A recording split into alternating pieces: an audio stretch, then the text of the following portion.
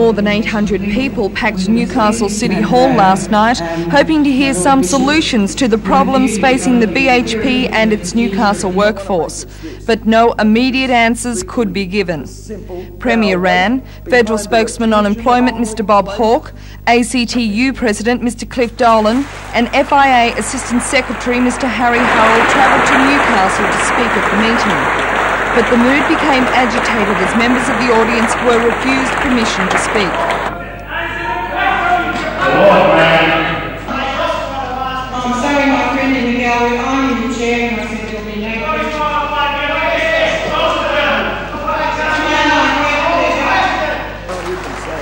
The meeting was convened by the Newcastle City Council to discuss alternative employment for the 1,600 workers to be retrenched by the BHP in Newcastle. Unfortunately, this topic was rarely broached. Mr Wran claims the BHP acted inappropriately by announcing the retrenchments at this time.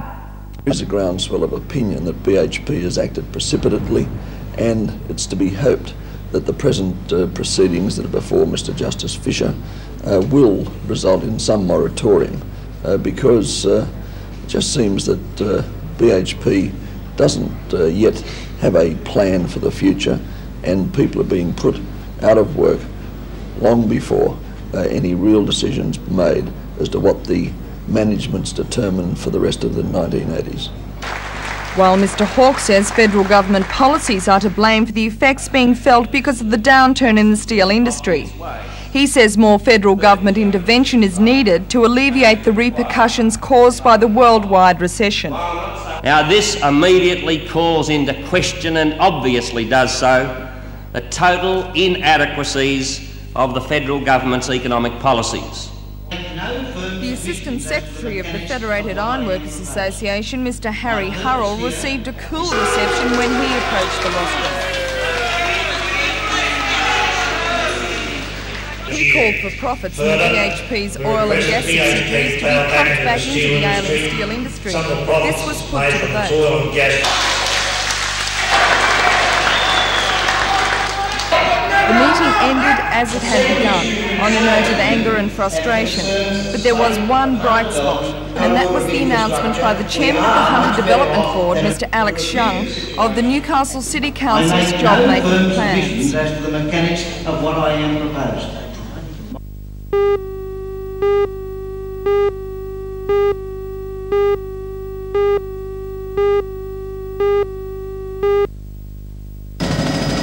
What was once the Wales Rescue Helicopter was flying for the first time today as the Westpac Rescue Helicopter. Same major sponsor, just a different name. Radio 2KO and NBN are also continuing their sponsorship of the craft. To mark its change of name, the helicopter is sporting new yellow and red paintwork, but Rescue Service Director Terry Mulville says nothing except the colouring has changed. The aircraft will be still available to uh, the emergency services in the community for exactly the same uh, type of work that it's been carrying out over the last eight years. Are you going to maintain this seven days a week, 24 hour service? Yes, we are. It's been very hard on our uh, on our one pilot over the last uh, 12 months because of the high work rate, but uh, we're able to uh, utilise the two NBN pilots as backup, and that'll take a bit of workload off young Ian. Before the flight passed over the city, the Westpac helicopter was accompanied by two RAAF Iroquois and the NBN helicopter. The choppers travelled south down the coast from Williamtown RAAF Base to Redhead Beach. From Redhead they banked right and flew over the outer suburbs.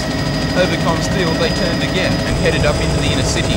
The flight path complete, one RAAF helicopter returned to base, while the remaining Iroquois accompanied the Westpac helicopter for a landing at Fletcher Park near Newcastle Hospital.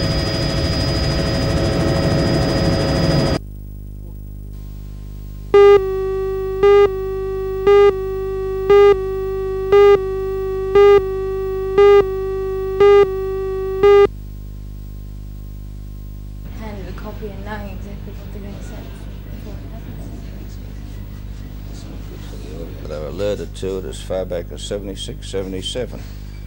Uh, they put it down to the fact that they didn't know and their public servants didn't tell them. But you mustn't blame the employees, you've got to blame the, the boss and the ministers and the, and the cabinet. Malcolm Fraser had a submission before his cabinet in 1978 about these matters and nothing was done. I think there's a fair bit of corruption also involved in this, and certainly it would appear that big names in the Liberal Party apparently have used their influence to guarantee that nothing was done about the matter. The amount of money involved is not just a few dollars, it runs into uh, perhaps uh, uh, hundreds of millions and perhaps thousands of millions of dollars. It's big money, and everybody else has had to pay more tax. If you look at the petrol levy, we've had to soak the average person another $13.3 billion in the last six years. That's the petrol tax levy to make up for taxes that obviously weren't paid by others. What sort of taxation do you think is more fair, income tax or indirect taxes? Income tax is more fair if it's related to those who have the ability to pay, because if it's indirect tax on all items, that means the pensioner pays the same rate of tax as the millionaire.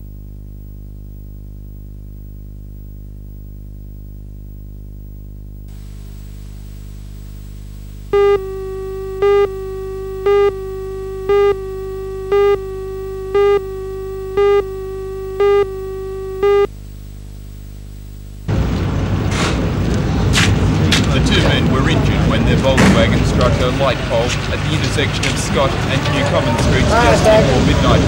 Paramedics were rushed to the accident and treated one victim at the scene.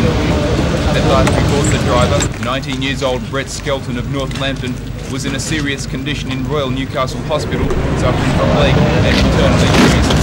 Passenger Graham Castle, also 19 years old, is in a satisfactory condition with leg and head injuries.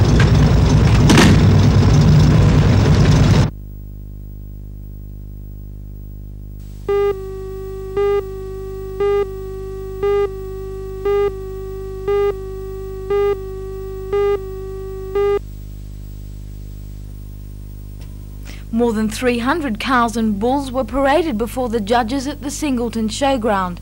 Most of the entrants were Friesians, but there were also classes for Jerseys, Illawarra Shorthorns, Guernseys and Ayrshires.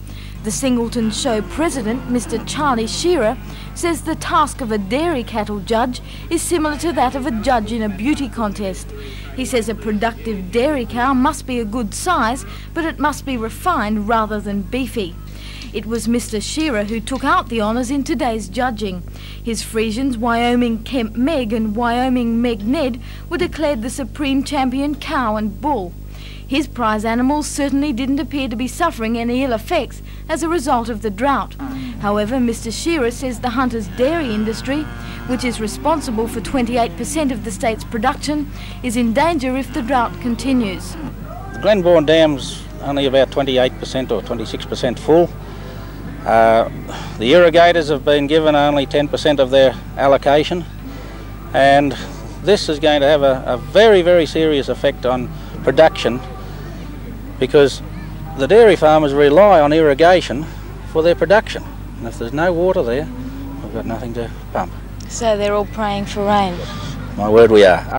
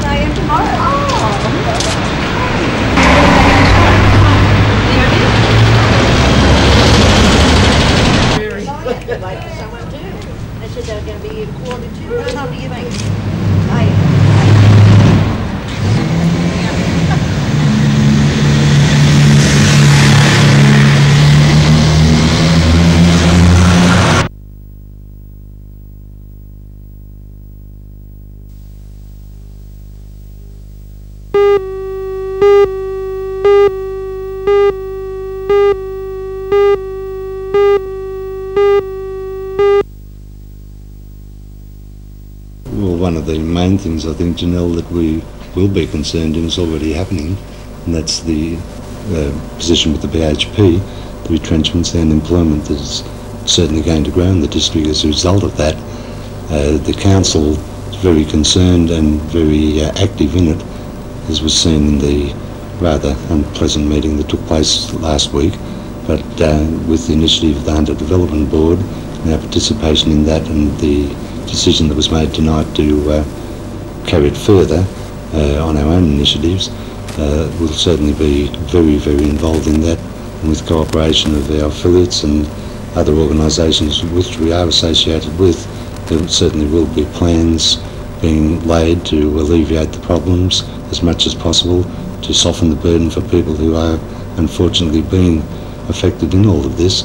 But uh, that's only one part of it. The uh, effect within our society here in Newcastle is going to be such that unless somebody really does address himself to it, uh, you know, it's going to be a very, very sad scene. And as uh,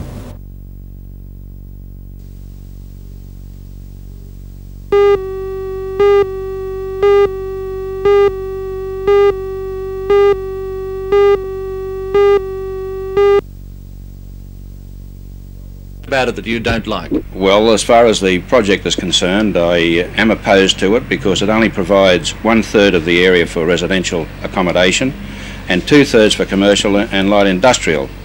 Now, as far as I'm concerned, Newcastle needs more domiciliary area.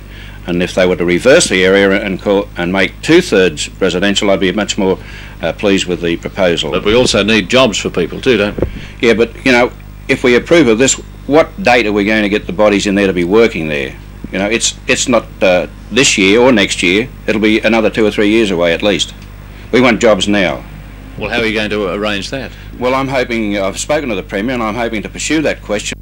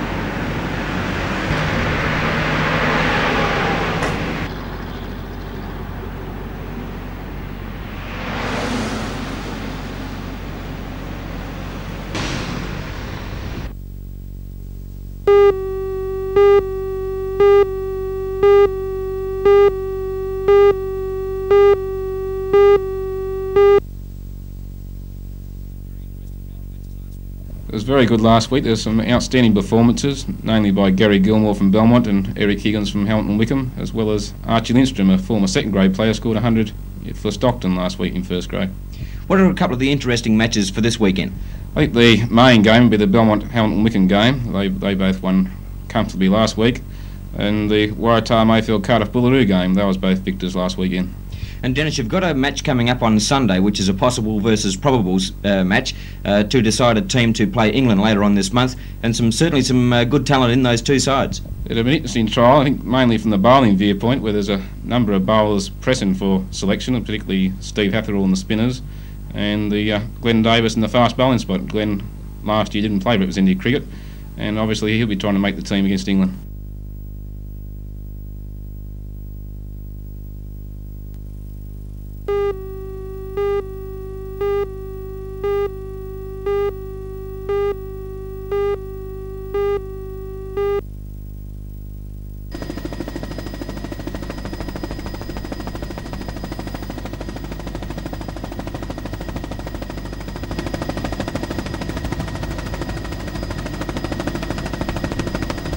BHP is not yet saying how many people have accepted voluntary resignation.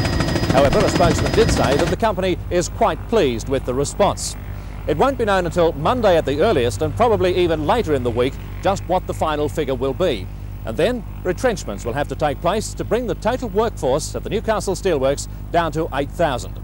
Those people retrenched will still be receiving the benefits of the severance agreement. That is, from one to one and a half weeks' pay, depending on the length of service, for every year you've been there, up to a maximum of 26 weeks' pay.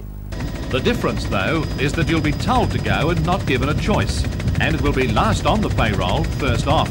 Obviously, the company's intention was to make it advantageous for the longer term employees to leave to keep jobs for younger people with greater commitments. But according to the Acting Assistant Secretary of the FIA, Mr John Lee, the company has not been generous enough. Had the carrot been juicier, more longer term employees, older people, would have taken it and far reduced the need for retrenchments, perhaps altogether. Mr Lee estimates that of the 1,734 to go this time around, 850 of them will be FIA members, the others being tradesmen, apprentices, trainees and staff.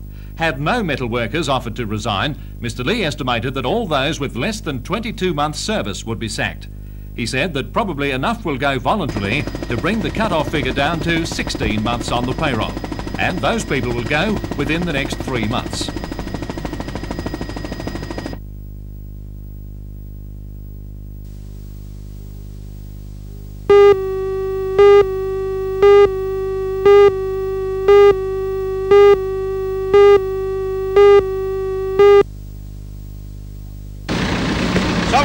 The 1982 Oktoberfest was a washout today.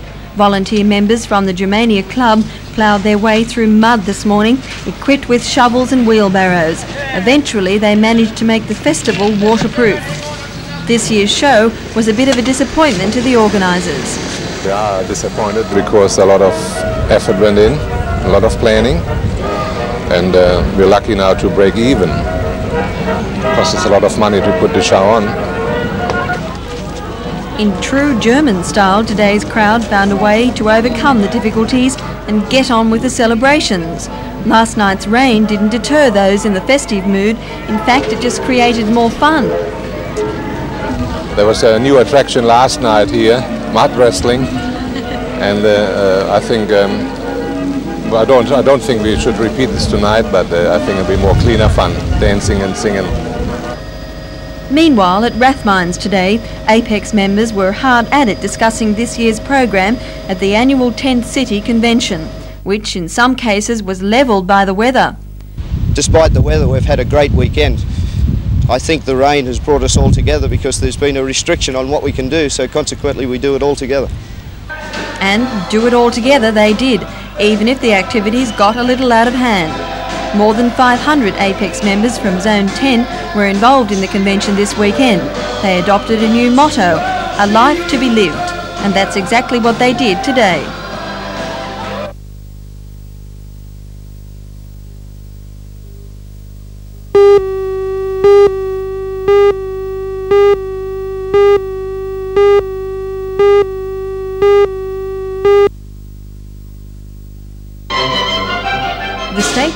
Brass and concert bands were at their best today for the New South Wales. Well,